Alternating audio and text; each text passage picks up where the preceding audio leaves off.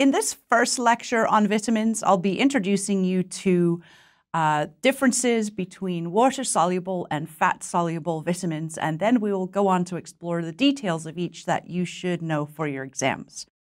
First, we'll take a look at the common features of water-soluble vitamins. First of all, they are hydrophilic, uh, hence the reason that they are water-soluble uh, which means that we need them only in small amounts and that any excess is going to be excreted in the urine. So rarely will we see a uh, toxicity of water-soluble vitamins, but more likely a deficiency because there are no backup stores in the body. The exception to this rule are in uh, vitamin B12 and B9, which are stored in a fairly significant amount in the liver so that they are available for future use. So let's take a quick look at all of the vitamins, water-soluble vitamins that we'll be covering. This is all the Bs as well as the vitamin C and you have names associated with each, but let me caution you or let you know that these names and numbers are not things that you need to match together anytime they mention on your exam one or the other. Both pieces will be there. Of course, by the time you're done with learning these vitamins, you probably will know the names as well as the letters associated with them for each. Anyway, we will then cover details of fat-soluble vitamins. Fat-soluble vitamins, there are many less of them, so uh, much less to handle there. They are all hydrophobic, and hence the fact that they are fat-soluble. Again, necessary in small amounts. Any excess here will be stored in the liver or fat.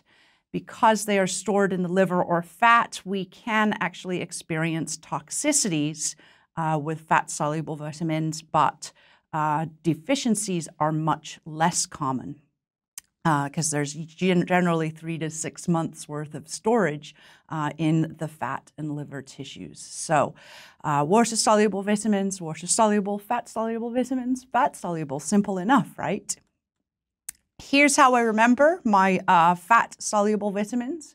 Uh, you can either remember that they are all of the vitamins that are not B and C, or you can remember them as A, K, E, and D. Uh, again, the names are always going to be associated with the letters. In the case of fat-soluble vitamins, the actual name can change dependent on the form of the particular vitamin. For example, we might have uh, vitamin D2 or D3.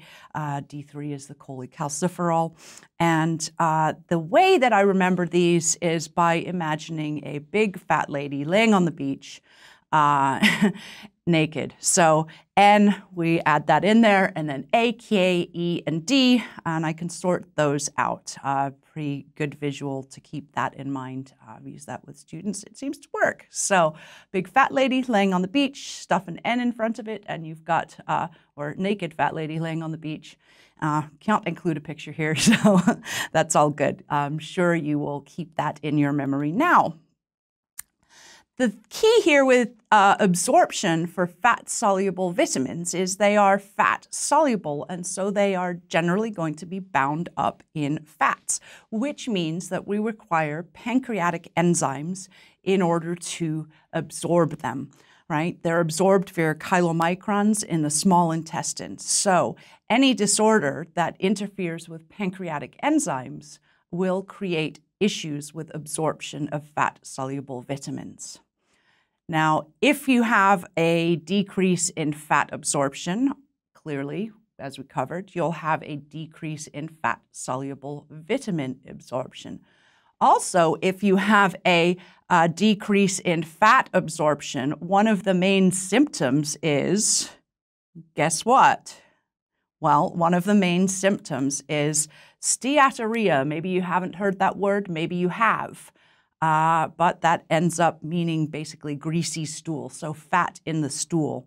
Uh, steatorrhea can result uh, or can be a, a, good indicator that someone may have problems uh, with the pancreas or fat absorption and or and potentially uh, fat-soluble vitamin absorption. So oily stool, Uh, smells really bad, uh, bad symptom to have. Anyway, uh, many of the causes of steatorrhea are here in the table. As you can see, most of them relate to issues with the pancreas, or for example, with Crohn's disease and celiac disease, absorption across uh, the intestine. So, uh, cystic fibrosis, it comes up because with cystic fibrosis, we have a decrease in um, in fluids. So we have the stickiness, which actually inhibits the secretion of pancreatic enzymes. So that's one of the symptoms also of cystic fibrosis is a decrease in fat absorption. And so keep in mind that anywhere we're talking about absorption issues, we could have a problem with any of the vitamins, but particularly uh, any issues of the pancreas, we can have an issue with absorption of fat soluble vitamins. So, on that note, I'd like to share with you uh, an interesting situation. You can see in the above image uh, that fat digestion uh, occurs normally using the enzyme lipase, right, secreted from the pancreas, and it breaks the fatty acid chains away. There are a number of drugs on the market presently for uh, prescribed and uh, over the counter for weight loss uh, that all fall under the umbrella of orlistat. Now, what orlistat does is theoretically cuts the amount of fat absorbed in half. And so we see that it interferes with the lipase enzyme and leaves the fats intact or triglycerides intact. And I bet that you can guess what one of the major side effects of drugs like Alli or Orlistat are. Uh, well, yeah, you've got it, steatorrhea. Um, not such a great symptom. And whether they're effective or not, uh, potentially they are if you see uh, the patients are having um, increased levels of exercise and reduced caloric intake, so they should definitely uh, be prescribed with uh, lifestyle modifications also. So, in short, this was a very brief introduction to the differences between fat soluble and uh, water soluble vitamins. And I look forward to seeing you in the next series of lectures as we highlight all the aspects that you need to know for your exams.